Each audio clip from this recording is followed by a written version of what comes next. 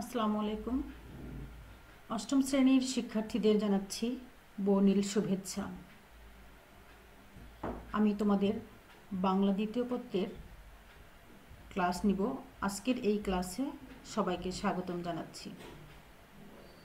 তোমাদের বাংলা বিষয়ের, বাংলা ব্যাকরণের একটি অধ্যায় আছে বানান। এই বানান অধ্যায় থেকে আমরা আলোচনা করব। বানান অধ্যায় নিয়ে আমি আরও একটা ক্লাস নিয়েছি। সেখানে আমি আলোচনা করার চেষ্টা করেছিলাম। বাংলা বানানে মূর্ধন্য স ও মূর্ধন্য নয়ের ব্যবহার নিয়ে। ওই আলোচনায় আমরা দেখিয়েছি কীভাবে বা কোন শব্দের বানানে মূর্ধন্য ন হবে এবং মূর্ধন্য স হবে সেটা নিয়ে আলোচনা করেছি। আজকে আমরা আলোচনা করব বাংলা বানানের অন্যান্য নিয়ম নিয়ে।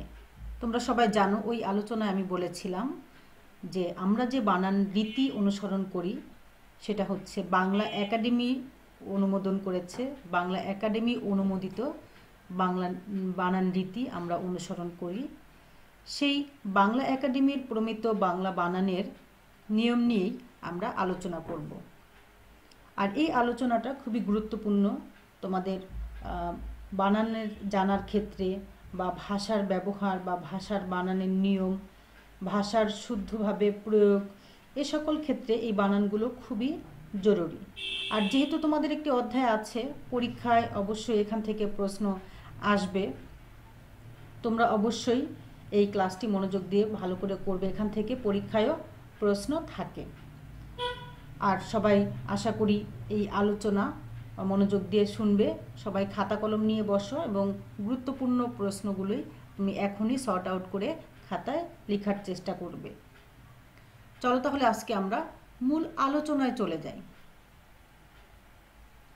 বাংলা বানানের নিয়মাবলী নিয়েই আমরা আজকে আলোচনা করব। আমরা জানি আমাদের বাংলা ভাষায় স্বরবর্ণের মধ্যে দুইটা ই আছে এবং দুইটা উ আছে। হ্রস্ব ই, দীর্ঘ ই। হ্রস্ব উ, দীর্ঘ উ। এখন আমাদের অনেক সময় সমস্যা হয়, কোথায় হ্রস্ব ই ব্যবহার করব? কোথায় দীর্ঘ ই করব? কোথায় হ্রস্ব উ করব? কোথায় দীর্ঘ উ ব্যবহার করব? এই বিষয়টা পরিষ্কারভাবে বাংলা বানানের নিয়মের মধ্যে দেয়া আছে, সেই নিয়ম অনুসরণ করে আমরা লিখব। এই জন্যে এই নিয়মের জানা খুবই দরকার। কোথায় রস ই দীর্ঘ ই রস উ দীর্ঘ উ হবে? তোমরা মনোযোগ দিয়ে শোনো। প্রথমেই আছে, যেসব শব্দের বানানে হ্রস্ব ও দীর্ঘ উভয় স্বর অভিধান সিদ্ধ, কেবল সেসব ক্ষেত্রে রস ই বা রস উ এবং তার কার চিহ্ন রস ই এবং উকার হবে। তোমরা জানো আমরা আমাদের বাংলা ভাষায় অনেক তৎসম শব্দ ব্যবহার করি। তৎসম শব্দ কোনগুলো মনে আছে? সংস্কৃত ভাষার যে সকল শব্দ আমরা বাংলায় ব্যবহার করছি, সেই শব্দগুলোই হচ্ছে তৎসম শব্দ। প্রথম নিয়মে বলা আছে, তৎসম শব্দের বানানের ক্ষেত্রে যেখানে দুইটাই সঠিক, অর্থাৎ তৎসম শব্দের বানানে তৎসম ব্যাকরণ অনুযায়ী রসই, দীর্ঘই রস উ দীর্ঘ উ দুটাই সঠিক সেক্ষেত্রে আমরা কেবল রস ই এবং রস উ বা তার কার চিহ্ন ইকার, উকার ব্যবহার করব। যেমন অটবি, শ্রেণি, পদবী, ধরণী কুটির দেশি, বিদেশি তরি চিৎকার, গ্রন্থাবলী, কিংবদন্তি, আবির, গণ্ডি, সারণী, ভ্রু ইত্যাদি।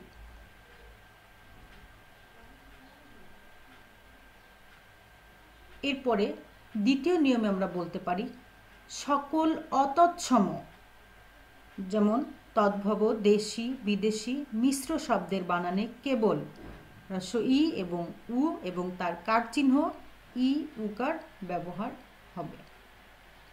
দেখো, আমরা তৎসম শব্দের বানানে বলেছিলাম যে সংস্কৃত ভাষা থেকে যে শব্দগুলো এসেছে, সেই তৎসম শব্দের বানানে যেখানে দুইটাই সঠিক, হ্রস্ব ই, দীর্ঘ দীর্ঘই রস উ, দীর্ঘ উ, সেক্ষেত্রে আমরা কেবল রস ই, রস উ এবং রস ইকার রস উকার ব্যবহার করব।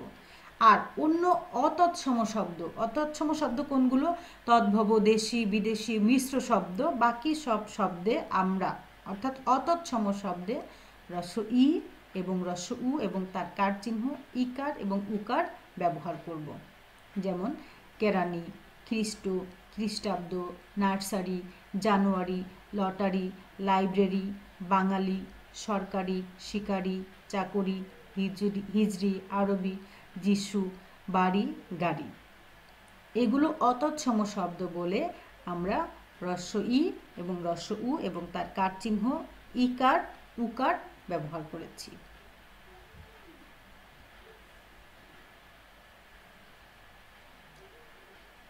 কয়েকটি স্ত্রীবাচক শব্দের শেষে দীর্ঘ ইকার হবে। স্ত্রীবাচক শব্দের শেষে আমরা অবশ্যই দীর্ঘ ইকার দিব, যেমন অভিনেত্রী, কিশোরী, গাভী, গুণবতী, ছাত্রী, জননী, নারী, দেবী, মানবী, যুবতী, সতী, সরস্বতী, শ্রীমতী, হরিণী, তরুণী, দাসী। অত স্ত্রীবাচক শব্দ বলে এখানে আমরা দীর্ঘ ইকার দিয়ে লিখেছি। কিন্তু ভাষা ও জাতির নামের শেষে রস্য ইকার হবে। ভাষা এবং জাতির নামের শেষে কি হবে? রস্য ইকার হবে। যেমন আফগানি জাতি, তুর্কি, নেপালি, জানুয়ারি, বাঙালি, হিন্দি, পাঞ্জাবি, ফরাসি, জাপানি, ইরানি, ইরাকি, আরবি। ভাষার নাম এবং জাতির নামের শেষে রস্য ইকার হবে। রস্য ইকার ব্যবহার করব। তাহলে আমরা জানলাম, স্ত্রীবাচক শব্দের শেষে দীর্ঘইকার হবে আর ভাষা ও জাতির নামের শেষে রস্যইকার হবে। প্রশ্ন আসতে পারে, ভাষা ও জাতির নামের শেষে কি হবে? রস্যইকার হবে। স্ত্রীবাচক শব্দের শেষে কি হবে? রসই দীর্ঘই রসউ দীর্ঘ সেক্ষেত্রে আমাদের হবে দীর্ঘইকার হবে।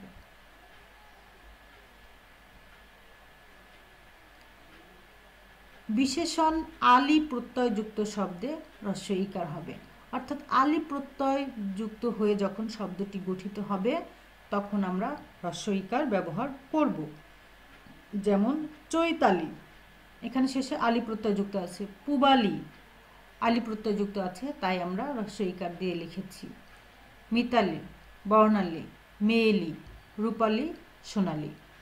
বিশেষণ আলি প্রত্যয়যুক্ত শব্দে রস্যইকার হয়।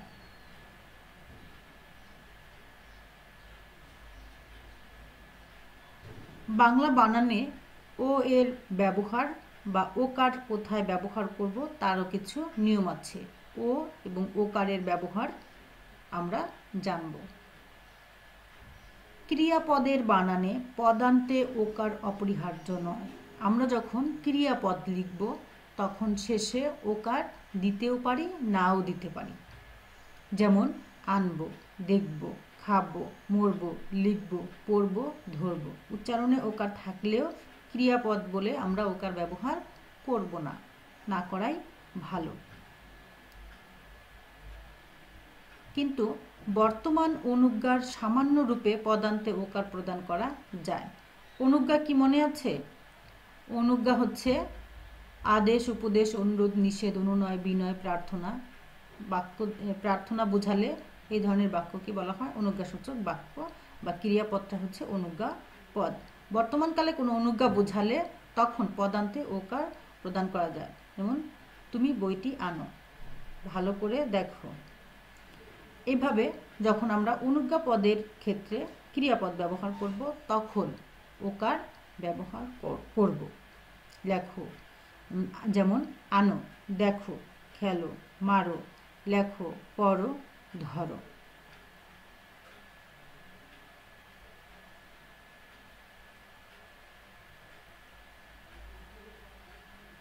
আনো প্রত্যয়ান্ত শব্দের শেষে ওকার হবে। আবার যখন আনো প্রত্যয় দিয়ে শব্দ গঠন করব, অর্থাৎ শব্দটি আনো প্রত্যয়যুক্ত হবে, তখন আমরা ওকার ব্যবহার করব। যেমন, পড়ানো, কর যোগ আনো। এখানে আনো প্রত্যয় যুক্ত হয়ে শব্দটি গঠিত হয়েছে, তাই আমরা শেষে ওকার দিয়েছি। তাহলে আমরা দেখলাম, আনো প্রত্যয়ান্ত শব্দের শেষে ওকার হয়। করানো, দেখানো, খাওয়ানো, পাঠানো, নামানো, সবগুলোতে কিন্তু আনো প্রত্যয় যুক্ত হয়ে শব্দটি গঠিত হয়েছে। তাই দেখো, শেষে আমরা ওকার ব্যবহার করেছি। আনো, দেখানো, খাওয়ানো পাঠানো, নামানো। এগুলোতে আমরা ওকার ব্যবহার করেছি, কারণ আনো প্রত্যয় যুক্ত হলে শব্দের শেষে ওকার হবে। অর্থ বা উচ্চারণ বিভ্রান্তির সুযোগ থাকলে ওকার দেওয়া আবশ্যক।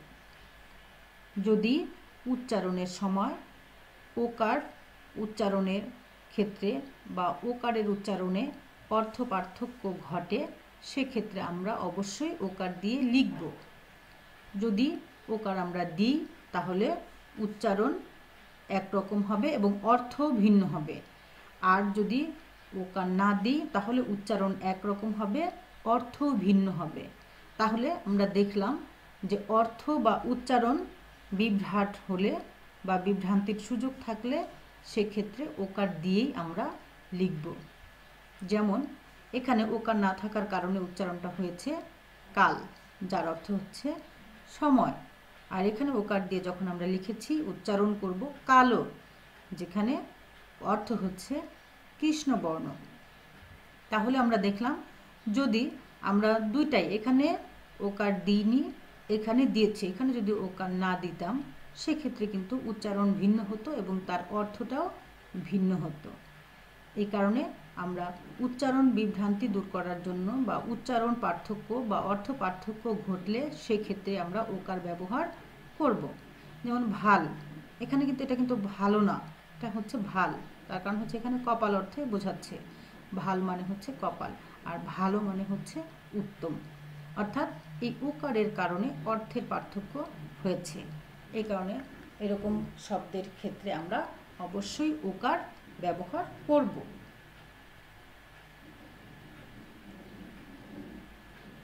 বাংলা বানানে বিসর্গ এর ব্যবহার। কোথায় বিসর্গ ব্যবহার করব বা কোথায় করব না, এর কিছু নিয়ম আছে। যেমন, পদান্তে বিসর্গ থাকবে না।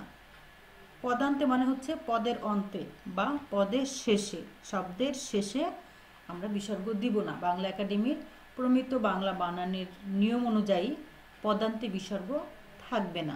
যেমন, ক্রমশ প্রথমত, দ্বিতীয়ত, প্রধানত, মূলত বস্তুত। এই শব্দগুলোর শেষে কখনোই বিসর্গ থাকবে না। কিন্তু পদমধ্যস্থ বিসর্গ থাকবে। পদের মাঝখানে যে বিসর্গ, সেটা কিন্তু অবশ্যই বজায় থাকবে। যেমন অন্তস্থ, দুঃখ, দুঃসহ, নিঃশব্দ, স্বতঃস্ফূর্ত। অর্থাৎ পদের মধ্যে বিসর্গ আমরা এখনও ব্যবহার করব। অভিধান সিদ্ধ হলে পদমধ্যস্থ বিসর্গ বর্জনীয়। কিন্তু দেখা যায় যে অভিধান সিদ্ধ অর্থাৎ রীতিসিদ্ধ বা আমরা যে বিসর্গ যদি পদের মাঝখানে না দিই, তারপরেও যদি বানানটি সঠিক হয়, সেক্ষেত্রে আমরা বিসর্গ বর্জন করতে পারি। যেমন দুস্থ। এখানে দুস্থ বিসর্গ না দিলেও হয়, কারণ এটা গ্রামাটিক্যালি সঠিক, কারণ নিঃশ্বাস বহিস্থ মনস্থ, এই শব্দগুলোর বানানে, মাঝখানে বিসর্গ না দিলেও হবে।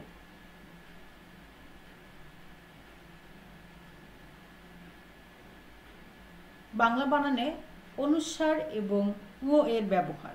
কখন আমরা ও ব্যবহার করব, কখন আমরা অনুস্বার ব্যবহার করব তারও কিছু নিয়ম বাংলা একাডেমি করেছে।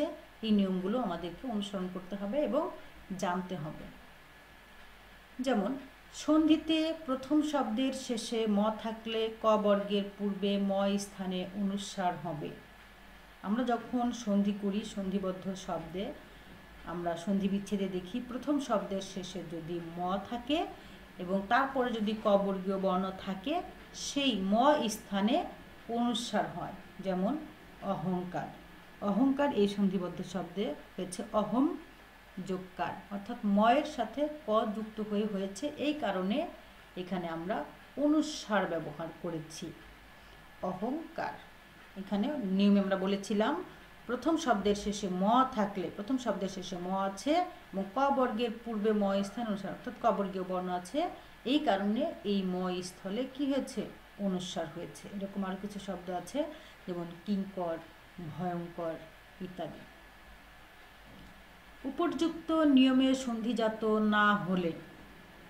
কিন্তু এই নিয়মের বাইরে যদি সন্ধিবদ্ধ হয় বা সন্ধিবদ্ধ না হয়, তাহলে যুক্ত ব্যঞ্জনে ক বর্গের পূর্বে ম স্থানে মো হবে।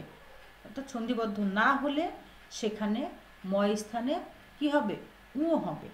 যেমন আকাঙ্ক্ষা, পঙ্কুর, ইঙ্গিত, জঙ্গি, পঙ্কজ, বঙ্গ। তাহলে আমরা দেখলাম সন্ধিবদ্ধ হলে তখন ম স্থানে ম স্থানে অনুসার হবে।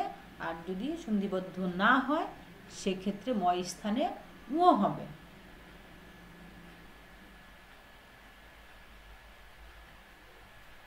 প্রত্যয় ও বিভক্তিহীন শব্দের শেষে অনুস্বার ব্যবহৃত হয়। অর্থাৎ প্রত্যয় এবং বিভক্তিহীন শব্দ বা প্রত্যয় বিভক্তি ছাড়া গঠিত শব্দের শেষে অনুস্বার ব্যবহৃত হয়। যেমন, আরং, ইদানিং, এবং ফরিং বরং, রং সিং এই শব্দগুলো আরং, এখানে কিন্তু অনুসার ব্যবহার করে লিখেছি। এখানে বিভক্তিহীন শব্দ, ইদানিং, এবং ফরিং বরং, রং সিং এগুলোতে আমরা অনুস্বার দিয়ে লিখেছি।